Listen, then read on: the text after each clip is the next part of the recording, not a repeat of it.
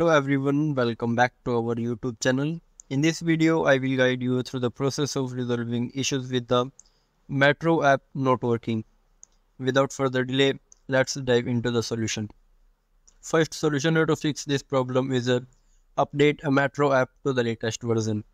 To do this, head to the Play Store and search for Metro app.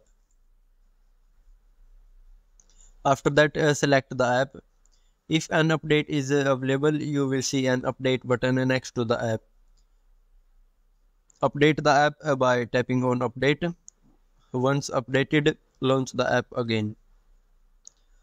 Second solution to fix this problem is a clear app caches. Clearing the app caches can often resolve performance issues. To clear uh, Metro app caches, just simply go to your device settings and uh, then uh, go to app manager. After that uh, select the metro app from the app list. And then go to storage and caches. And then tap on clear caches to clear the app caches. Third solution to fix this problem is a force stop and restart a metro app.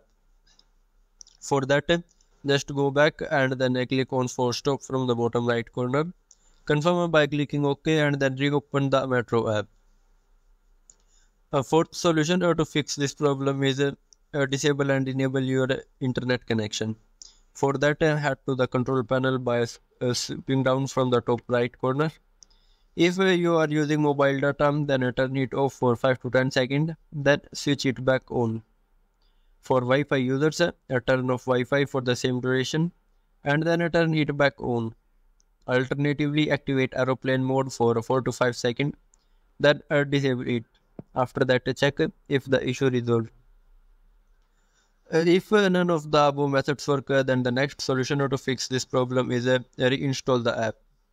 For that, just simply go to Play Store, searching for the app and then select uninstall.